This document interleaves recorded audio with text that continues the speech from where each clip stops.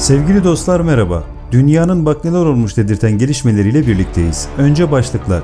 Amerikan medyası Erdoğan Trump'ı bile aşağıladı. Türkiye'de büyük operasyon, Avrupa Birliği'nden Türkiye açıklaması. Trump, bu iş mahkemede biter. Birleşmiş Milletler'de ABD ile Çin arasında gerginlik. Savaş uçağından izlenen ortak tatbikatların ardından ABD yönetimi Doğu Akdeniz krizinde safını açıkça seçti. Seçimlere günler kala gelen hamle gündeme bomba gibi düştü. Amerikan medyası ise Türkiye lideri Erdoğan'ın bölgesel güç oyunundaki rolünü yazdı. Doğu Akdeniz'deki gerilimin masaya taşınmasıyla Türkiye ve Yunanistan arasında istikşafi görüşmeler beklenirken ABD'den gece yarısı sürpriz bir adım geldi. ABD Dışişleri Bakan Yardımcısı Stephen Biegun, Türkiye'den Doğu Akdeniz'deki provokatif deniz operasyonlarına son vermesini ve tansiyonu düşürmesini istedi. Ankara üzerinde Doğu Akdeniz'deki hamlelerini durdurması için ısrarcı olduklarını savunan Bigan, hali hazırdaki tablodan ise memnuniyet duyduklarını aktardı.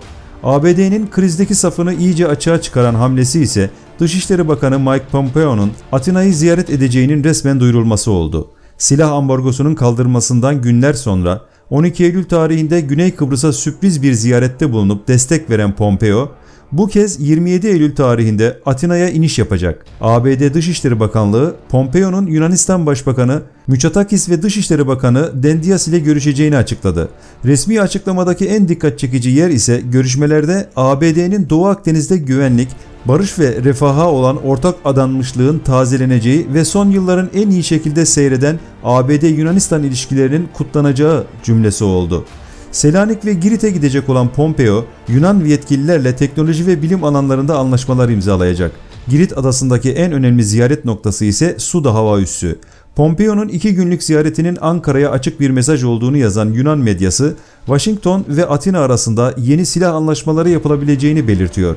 Yunan medyasında göze çarpan bir başka haber, Amerikan Washington Post'ta David Ignatius imzasıyla yayımlanan bir makale.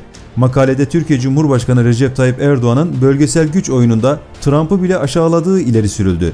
Türkiye'nin süper güçleri rahatsız eder bir şekilde bölgesel hakimiyet istediğini savunan Washington Post makalesinde kriz iki ülkeyi silahlı çatışmanın kıyısına getirdi. Her iki tarafta Doğu Akdeniz'e kıyısı olan devletlerle anlaşmalar yaparak pazarlık güçlerini artırmayı deniyor. Türkiye Libya ile Yunanistan'da Mısır ile bunu yapıyor denildi. Washington Post'taki yazıda Yunan Başbakanı Mitsotakis 10 yıl önce borç batağına ve politik bölünmeye saplanmış çekici bir politik figür cümlesiyle tanımlandı. Yunan basında ise bugün yine manşetler Türkiye. Katimerini gazetesi Türkiye-Yunan adalarının silahsızlandırılmasını masaya koyuyor başlığını kullandı. Ankara'daki Milli Güvenlik Kurulu toplantısını haberleştiren gazete, Türkiye'nin istikşafi görüşmelerde birçok Yunan adasının silahsızlandırılmasını isteyeceğini yazdı. Katimerini'ye göre söz konusu resmi açıklamada ismi zikredilmese de vurgulanan ilk yer Kaş'ın karşısında yer alan Meis Adası. Tanıya gazetesi ise uzun analizinde Erdoğan, Miçotakis'in diplomasi maratonundan beklenenler, Ankara ne arıyor, Atina ne yapıyor başlığıyla sundu. Süreci özetleyen Tanea, Ankara'nın Atina'yı Lozan Anlaşması'nı ihlal etmekle suçladığını ve öne çıkan başlığın ise Limnos gibi Ege Denizi adalarının silahsızlandırılması olduğunu bildiriyor. Avrupa Komisyonu Türkiye'de Kobani eylemleri soruşturması kapsamında 7 ilde gerçekleşen gözaltı operasyonuna ilişkin olarak açıklamada bulundu. Sabaha karşı başlayan operasyonlar kapsamında aralarında eski HDP milletvekillerinin de bulunduğu bazı isimler gözaltına alındı. AB Komisyonu Sözcüsü Ana Pisenero, Türkiye'de bu türden gelişmelerle ilk kez karşılaşmadıklarını belirterek Avrupa Birliği hali hazırda Türkiye'deki anti terör yasaları ve uygulamalarına ilişkin kaygılarını birçok kez dile getirdi.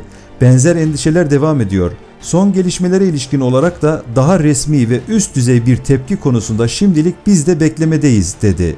Emekli istihbarat albay güvenlik uzmanı Coşkun Başbuğ ise gelişmeler hakkında değerlendirmelerde bulundu. Kobani, Amerikalıların o bölge için kantonlardan birine verdiği isim yani proje bölge. Dolayısıyla doğru adı Aynel Arap. 2014'te Aynel Arap'ta PYD'nin DAEŞ'la çatışmaları yoğunlaştırdılar. Bu bir tiyatroydu, bilerek yaptılar. Sözde PYD DAEŞ'e karşı mücadele ediyor ve bu mücadelenin Türkiye tarafından desteklenmesi gerektiği gibi bir masala sarıldılar. Türkiye PYD'ye silah desteği yapmalı gibi bir hava oluşturuldu. Türkiye'nin PYD'ye bakış açısı belli. PKK'nın uzantısı. Çatışmaları şiddetlendirdiler ve çatışmaları örnek göstererek içeride bir kampanyaya giriştiler. Kobani bölgesinde kan gövdeyi götürüyor, oraya destek vermeliyiz, insanlar sokağa dökülsün, Kobani'ye sahip çıksın diye. Ondan sonra hatta HDP'li siyasetçiler şu cümleyi kurdu. Kobane düşerse Adana düşer, Ankara düşer. Sözde DH tehdit, PYD mücadele ediyor. Biz de DH'a karşı mücadeleye destek vermeliyiz. 3 gün süren 30 ilde başlayan olaylar gerçekleşti. Ve Karayılan, Abdullah Öcalan, Demirtaş dahil şu cümleyi kurdular. Kobani bizim namusumuzdur. Namusumuza sahip çıkın. Bunun içinde sokaklara dökülün. Devlete ne varsa yakın yıkın ve alan hakimiyeti sağlayın. Bunun doğru adı isyan girişimiydi. Bunun adı isyan girişimiydi ve bana göre Cumhuriyet tarihinin en büyük isyan girişimlerinden biriydi. 3 gün sonra olay bastırıldı. Elebaşlarından tutuklananlar oldu. Ama arka planda halkı isyana teşvik eden Demirtaş ve uzantısı kadro vardı. Bu vicdanları yaralıyordu. Hesabın sorulup sorulmadığı hep tartışıldı. Fakat o zaman da söyledik. Devletin bunda bir hesabı var. Bu işlerin yeri ve zamanı var. Gün ve saati geldiğinde devlet alacaklı kalmaz. Bedelini ödettirir. Yapana hesabını sorar. İşte o gün bugün. Bana göre daha fazla isim de var gözaltına alınacak. Bu soruşturma sonunda da bana göre dışarının kirli ilişkileri ortaya çıkacak ifadelerini kullandı. ABD lideri Donald Trump düzenlediği basın toplantısında bir gazetecinin seçimlerden sonra barışçıl bir geçiş süreci olacağına söz veriyor musunuz sorusuna olacaklara bakacağız cevabını vermişti.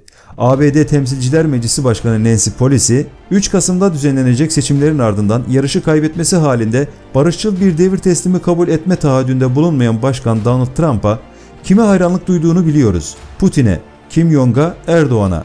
Türkiye'de değiliz, ABD'desiniz demesi üzerine Ankara çok sert tepki gösterdi.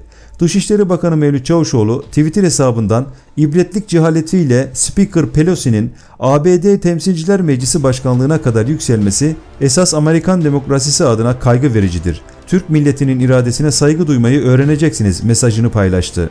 Birleşmiş Milletler Güvenlik Konseyi koronavirüs salgınını görüşmek için video konferans yöntemiyle bir araya geldi. Oturumda ABD ve Çin arasındaki karşılıklı atışma gerginliğe sebep oldu. Video konferans yöntemiyle yapılan oturuma ABD ve Çin'in Birleşmiş Milletler daimi temsilcilerinin tartışması damga vurdu. Gerginlik Çin ve Rusya Dışişleri Bakanlarının ABD yaptırımlarına yönelik eleştirileriyle başladı. ABD'nin Birleşmiş Milletler daimi temsilcisi Kelly Craft eleştirilere cevap vermekte gecikmedi. Bugünkü toplantının içeriğinden tiksindim ve bu konseyden utanıyorum.